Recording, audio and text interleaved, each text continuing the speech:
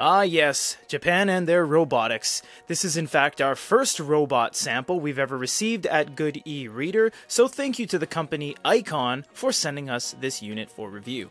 This is the Kumiita and this robot walks on paper. Yes, inside the box are a stack of tiles that you lay out, and the robot will find its way to the end goal. Along the way, it faces trials and tribulations of color changes, directional influences, and other things that may assist or hinder its progress. But aside from some promotional videos on YouTube, we really don't know what's in the box, how everything feels, and how it all works in the real world. So we're gonna figure that out together right now. This is a very heavy box, and I don't know if that's attributed to the actual robot itself or if the panels are made out of something other than just paper, because it does seem that this is pretty substantially heavy. Let's crack it open and see what's inside. So inside the box, first thing you see is the instruction manual, and this is going to be in English, of course, and it is going to tell you how to use it. So make sure you hold on to this because if you're not sure what all the panels do and everything, you're going to want to need these.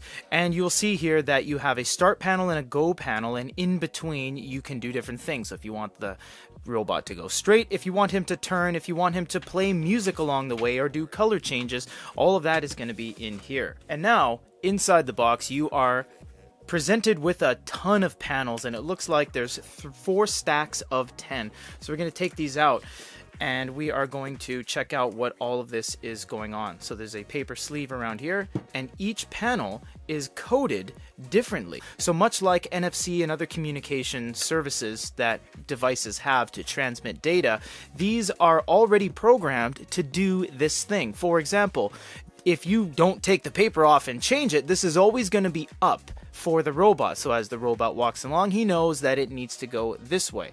And if you turn it like that, it's going to go up like that or down like that. So you can change the direction of where the robot is going to go. We'll show you all that when we get into it. There's a little bit of magnetics here too. There seems to be some sort of magnetics because you see they're very much kind of stuck together. So we're going to explore what that all is in the review portion of this. You get another stack and we get a third stack and we get the fourth stack.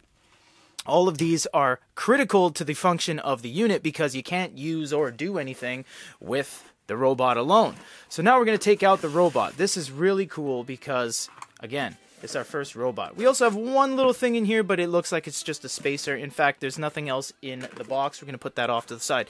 Here is the Kumiita robot, everybody. I'm going to be very gentle with all the packaging here.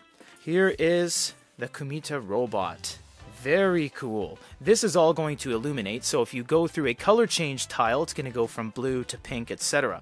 The gray colored friction ball like rollers are motorized rollers, in fact, which connect to the motor inside the robot. The two metallic roller balls at the bottom are not magnets, they are for stability purposes.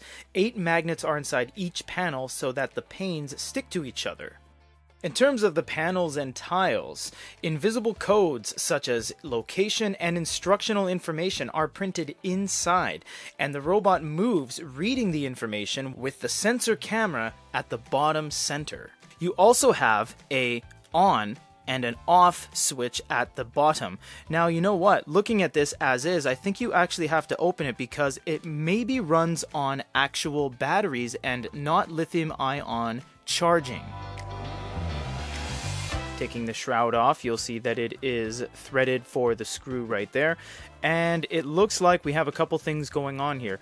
We do have a micro USB and an SD card, and from what they told us, these are only for internal use and not for the actual customer. So if you try to do anything, it just won't work.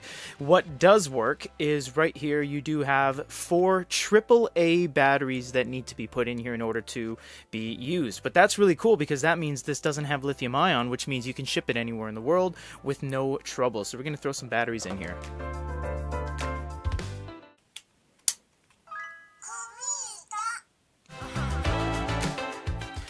So I'm not sure if this goes under any calibration or anything like that. So if I put it on table, it looks like she's starting to move around a little bit. So that's kind of cool. What we have to do now that we have everything set up, we got to actually crack out these tiles, put them down, and make a little map for this little guy or girl to move along.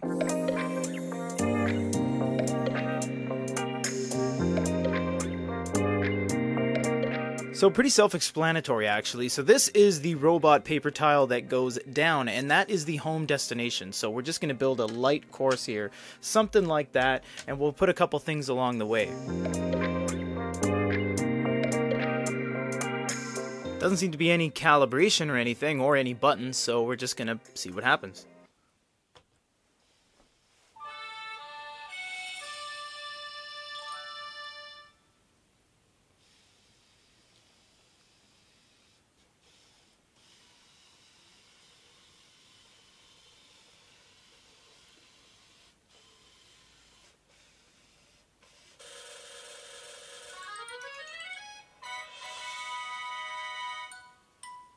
Pretty straightforward, we have a start and end, but if we interrupt this line and put a music note in between, for example, let's see what happens this time.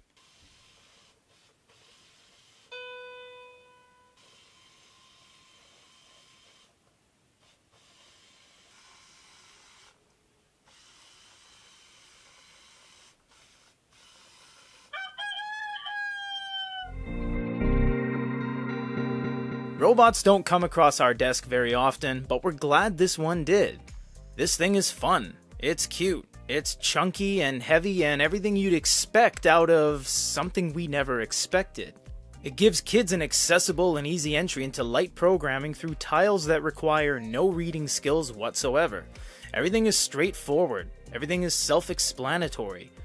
One can be easily turned off by something like this if it gets too technical, but that's not what we're feeling here. It's just so easy. And because you get 40 tiles, technically the combinations are limitless. If you want to find out more about this fun little robot set, check the description down below, and thanks for stopping by.